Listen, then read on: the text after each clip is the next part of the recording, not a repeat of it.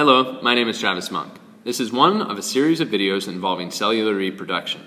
This video will provide an overview of mitosis, the asexual means by which human cells divide. The picture on the bottom of the slide exhibits mitosis. The four different stages of mitosis, as well as important events that occur during them, will be the emphasis of this video.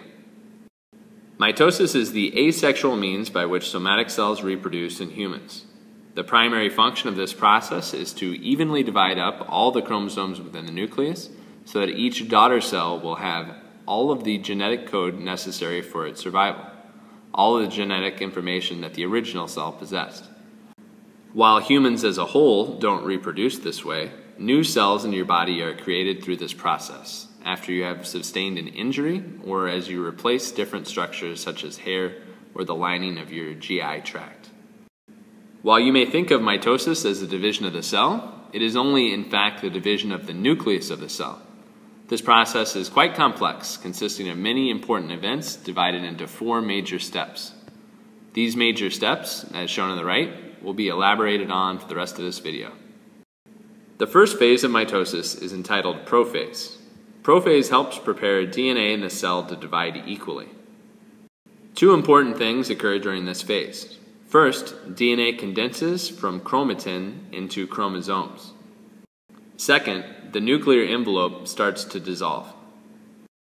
After the nuclear envelope dissolves and DNA is tightly wrapped into chromosomes during prophase, the next phase, metaphase, can occur.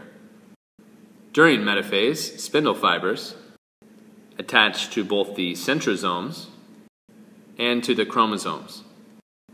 This causes all the chromosomes to form one line along the center of the cell, as the spindle fibers, the centrosomes, and the chromosomes are all pulled very tightly. What happens after metaphase is that the spindle fibers pull on the chromosomes until individual chromatid are pulled apart from one another towards the centrosomes. This phase of mitosis is referred to as anaphase. During the final phase of mitosis, telophase, which occurs after anaphase, chromatid gather towards the centrosomes and a nuclear envelope reforms. At the end of this process, the cell is still diploid. Even though half of the genetic material ends up in each of the newly formed cells, all of the information is still there. Since each of the chromatid in a chromosome contains the exact same information, no genetic material is lost. Immediately after the division of the nucleus ends, the division of the rest of the cell occurs in a process called cytokinesis.